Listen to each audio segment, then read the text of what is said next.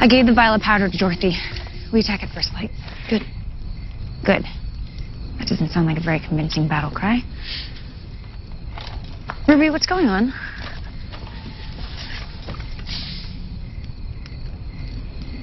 When we were on our trek, uh, Dorothy asked me what I've been looking for this whole time, and I t- told her that I didn't know. Well, do you?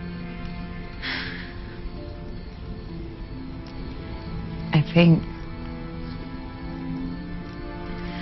I think that I've been looking for someone like her.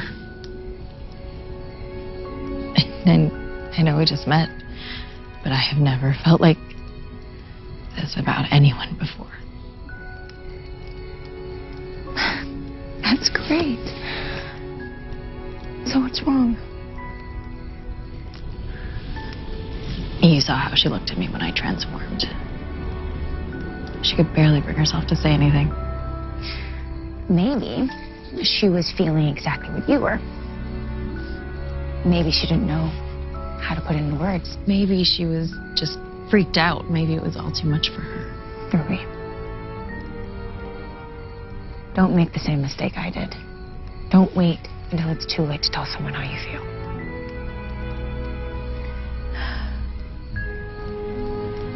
You really think I should?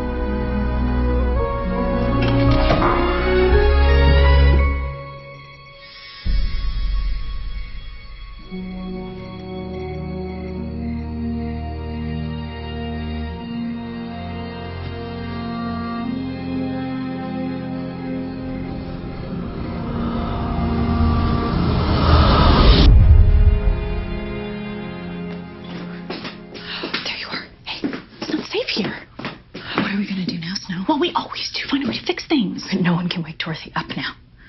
Well, I mean, I don't think that's entirely true. Well, who else can give her true love's kiss?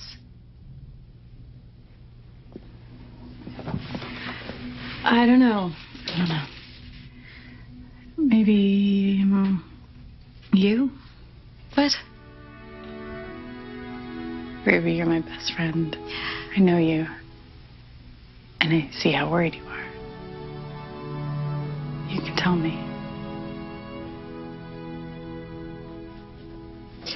You're right. So why are you standing here? Why aren't you on the way to Oz? True love is a two-way street, and Dorothy, I don't think feels the same. Why? What makes you think that? She kind of bailed on me back in Oz. So, love's love's a funny thing.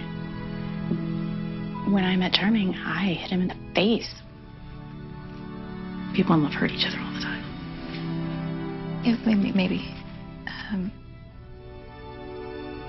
but uh, it's just. I've never been so scared about anything before. That's a great sign. This love is freaking scary. I'm about to say goodbye to David for what might be a really, really long time. And you know why I'm okay with it? Because what you get back when you love someone far outweighs the risk.